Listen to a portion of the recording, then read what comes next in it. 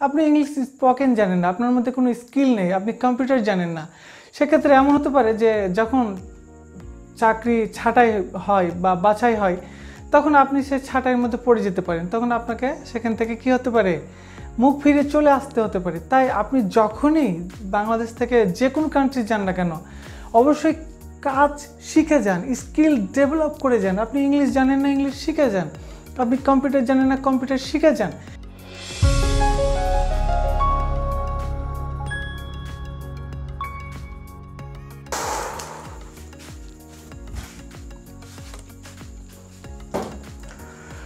Assalamu alaikum, dear brothers and sisters. How the things going well? I hope that you are doing well by the grace and mercy of Almighty Allah. প্রিয় শিক্ষার্থীরা যারা যে যেখান থেকে দেখছেন না কেন ভালো আছেন সুস্থ আছেন নিরাপদে আছেন করোনা থেকে দূরে রয়েছেন আজকের এই ভিডিওতে আমি আপনাদেরকে বেশ কিছু তথ্য দেব সেটা হচ্ছে যে আপনারা যারা দেশের বাইরে ওয়ার্ক পারমিট নিয়ে যান বিশেষ করে মিডিল ইস্টের কথা বলি Saudi, Dubai, Qatar, Jordan, Malaysia, Mauritius, Brunei অথবা ইরাক এসব কান্ট্রিগুলোতে আপনারা যারা বিভিন্ন ট্রেড নিয়ে যান, বিশেষ করে ম্যাসন ট্রেড কার্পেন্টার ওয়েটার তারপরে কম্পিউটার অপারেটর তারপরে ইলেকট্রিশিয়ান হিসাবে অথবা প্লাম্বার হিসাবে বা রোড রড বেন্ডার হিসাবে আপনারা যখন এক দেশ থেকে আরেক দেশ যাবেন, তখন অবশ্যই ঢাল, তালোয়ার যা আছে সব কিছু বেঁধে নিয়ে যাবেন। কারণ হচ্ছে যে ওইখানে আপনার জন্য কেউ বসে নেই যে আপনাকে ট্রেনিং করাবে বা বোঝাবে। আপনি যদি ওখানে কোনো একটি কোর্স করতে চান কম্পিউটার কোর্স অথবা ইংলিশ স্পোকেন কোর্স মানে ইংরেজিতে কথা বলার কোর্স সেক্ষেত্রে আপনাকে অনেক টাকা গুনতে হবে। কাজ বাদ দিয়ে ট্রেনিং করতে হবে, সেটা ব্যয়বহুল। প্রিয় ভাইরা আপনারা যদি ইংলিশ না জানেন, তাহলে কি কি ক্ষতি হতে পারে? দেখুন, আপনি ইংলিশ স্পোকেন জানেন না, আপনার মধ্যে কোনো স্কিল নেই, আপনি কম্পিউটার জানেন না। সেক্ষেত্রে এমন হতে পারে যে যখন চাকরি ছাঁটাই হয় বা বাছাই হয়, তখন আপনি সেই ছাঁটাইয়ের মধ্যে পড়ে যেতে পারেন। তখন আপনাকে সেখান থেকে কি হতে পারে? মুখ ফিরে চলে আসতে হতে পারে। তাই আপনি যখনই বাংলাদেশ থেকে যে কোনো কান্ট্রি যান না কেন, অবশ্যই কাজ শিখে যান স্কিল ডেভেলপ করে যান। আপনি ইংলিশ জানেন না ইংলিশ শিখে যান। আপনি কম্পিউটার জানেন না কম্পিউটার শিখে যান। কারণ ওইখানে কেউ বসে নাই। Nobody is waiting over there to teach you how to how to learn English how to learn computer. কেউ ওখানে বসে নেই। আর যদি আপনি ওই সব এলাকায় ওই সব দেশে ট্রেনিং করতে যান, সেটা ব্যয়বহুল, অনেক ব্যয়বহুল, অনেক খরচের ব্যাপার। আর আপনার জন্য অপরচুনিটি কখনো ওয়েটিং করবে না।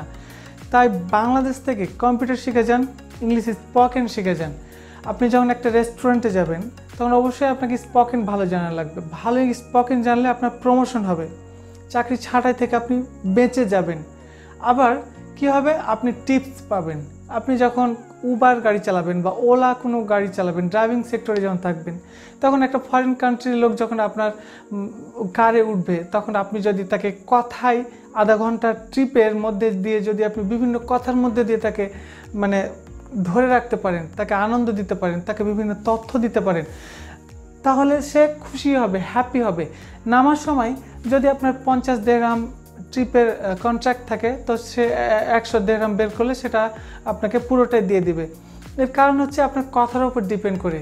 আপনি যদি শুধু মুখ গোমরা করে বসে থাকেন আর শুধু ড্রাইভিং করেন, তাহলে তো সেখানে সে অপরচুনিটি থাকে না। আর এই যে তার সাথে কথা বলবেন, কথোপকথন করবেন, আর এই কথোপকথনটার মাধ্যমে হতে হবে আপনার ইংলিশ হ্যাঁ আপনি হিন্দি জানেন, খুব ভালো কথা।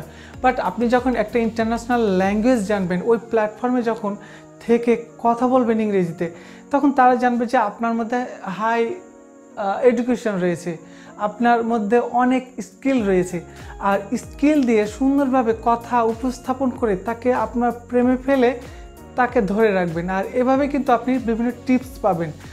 আর যারা ম্যাশনের কাজ করেন রোদে পুড়ে অথবা রড বেন্ডারের কাজ করেন রোদে পুড়ে তারা তো কষ্ট করে কাজ করেন হার্ড ওয়ার্কিং করেন, তারা যদি ভালো স্পোকেন জানেন, ইংরেজিতে কথা বলতে জানেন বা কম্পিউটার জানেন, তাদের যে অপরচুনিটি সেটা হচ্ছে যে যখন একটা কোম্পানির মধ্যে কোনো প্রমোশন হয় বা কোনো হায়ার পোস্টে নিয়োগ হয়, তখন প্রথমে কোম্পানির লোকদের মধ্যে থেকে লোক নেওয়া হয়।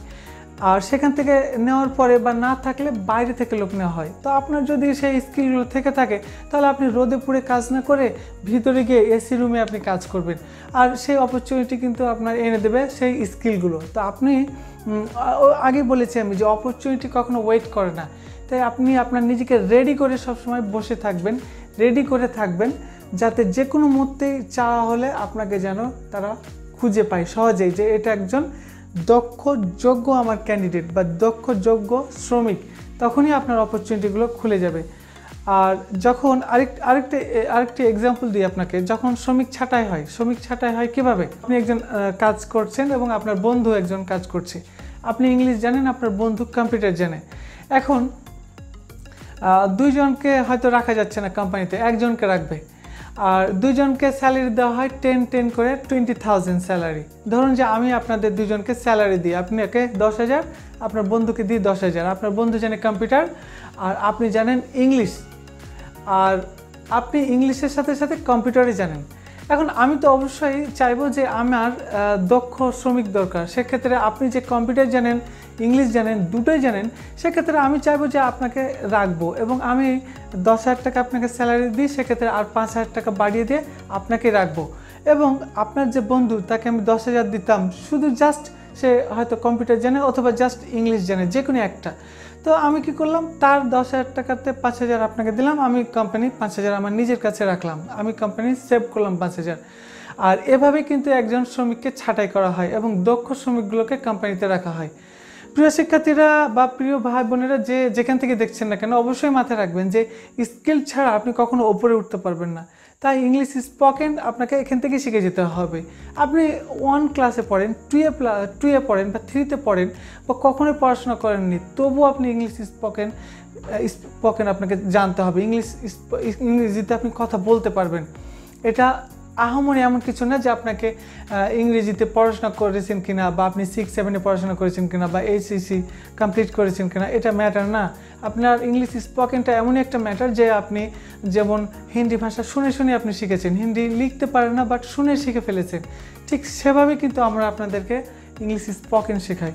প্রিয় ভাই বোনেরা, আপনার যে যেখান থেকে দেখছেন আমার ভিডিওটি, এই ভিডিওটি অবশ্যই শেয়ার করবেন। যারা অনেকেই মনে করে যে আমি পড়াশোনা করিনি, আমি কীভাবে ইংরেজিতে কথা বলব বা কীভাবে শিখব। এখানে ইংলিশ স্পোকেন বলতে এটা না যে আপনাকে মুখস্থ করতে হবে। আপনারা হয়তো কি করেছেন? সিক্স সেভেনে বা ফাইভে কি গরুর রচনা মুখস্থ করেছেন, চার, পাঁচ লাইনের। অথবা একটি লেটার মুখস্থ করেছেন, তিন, চার লাইনের। এখানে মুখস্থর কোনো সিস্টেম নেই। আপনি রাস্তাতে হাঁটছেন, কাজ করছেন, প্রতিনিয়ত যে বাংলাতে কথাগুলো বলেন, সে কথাগুলো কিন্তু ঘুরে ফিরে প্রতিদিন বলেন। তাই এটা ডেলি নেসেসারি যে কথোপকথনগুলো, এই কথোপকথনগুলো জাস্ট প্র্যাকটিসের মধ্যে দিয়ে আপনি জাস্ট অভ্যস্ত হয়ে পড়বেন। এটা